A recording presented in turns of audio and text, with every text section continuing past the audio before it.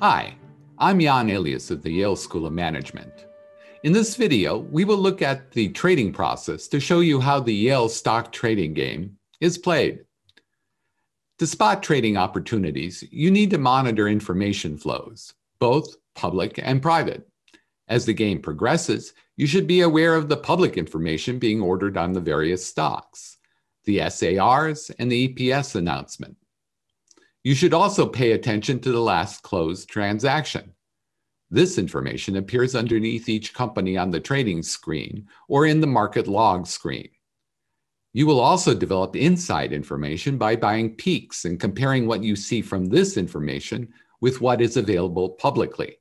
Having private information will allow you to spot good deals by finding anomalies either in the public information or in the trading that is going on. For example, at the beginning of this game, you note that the red stock has a SAR at $31 a share. You decide to purchase three peeks of the red stock.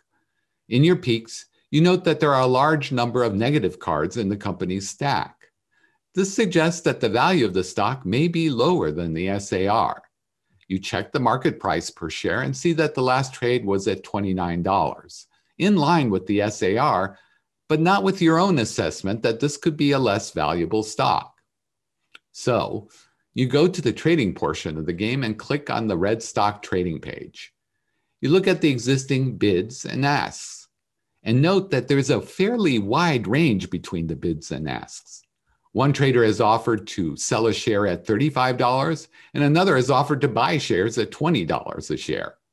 You want to reduce your holdings of red and guess that you could induce someone to buy your shares if you price it somewhat lower than both the SAR and the previous low ask. You decide to put in a limit order to sell three shares at $30.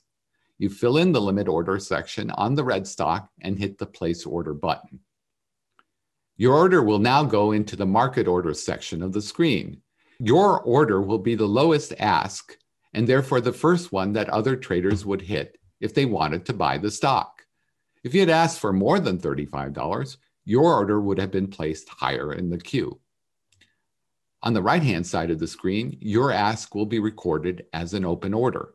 At first, nothing will happen to your account. You will not be charged for the transaction, nor will you be credited with selling the shares until someone else hits the buy button to purchase the shares at your ask price. This may take some time or even never happen. It depends on how attractive your ask is to those who are looking to buy red stock. If you should feel that you want to get out of this transaction, you can cancel your ask at any point before someone accepts. You can do this by hitting the cancel order button next to the order you have placed in the market order section. There is no cost to you in either floating or canceling a bid or an ask. As you wait for someone to sell you their shares at the price that you have asked, you don't have to stay on the red trading screen. You can go to the trading screens of other stocks or pursue additional information. If your limit order is accepted, the change in cash and your share portfolio will be automatically updated to reflect the transaction.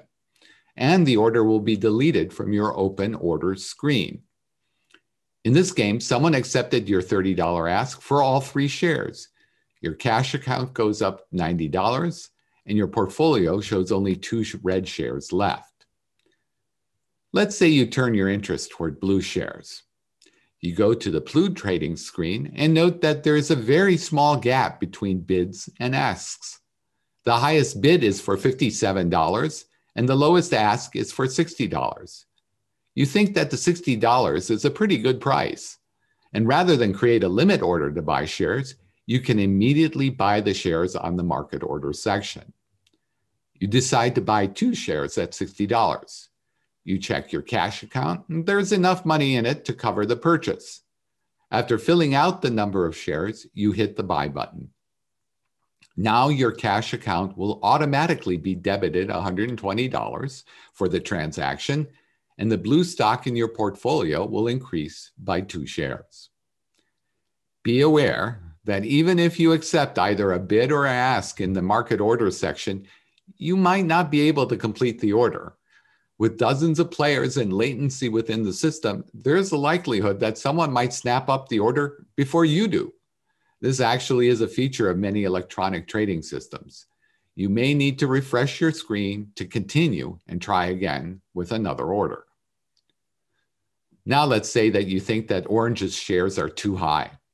Having previously sold most of your Orange shares, you can still take advantage of your insight you can sell up to five shares that you do not own, either through a limit or a market order. In this way, you are shorting the stock. In this case, you create a limit order to sell five orange shares at $78, even though you only own one share of orange stock. If your transaction clears, you will receive $390, with $312 coming from the shares that you do not own. If you do not buy orange shares during the rest of the game, at the end of the game, the computer will purchase four shares of orange stock at the liquidation final price and charge your account. Let's say the final price is $50 a share on the orange stock. The computer will charge your account with $200 for the four shares you are short. This means you will have made $112 on your short position. You can also borrow money to go long on a stock. Even if your cash account is zero, you can buy up to $200 worth of shares. Be aware, the game will not allow you to make a purchase which would put you in more than $200 debt. At the end of the game, if you have a negative cash account, you will have to pay back the amount you borrowed plus 10% as interest. You profit if the shares you bought are worth more than what you paid for them plus 10%. Now you know some of the basics of the game. Good luck and happy trading.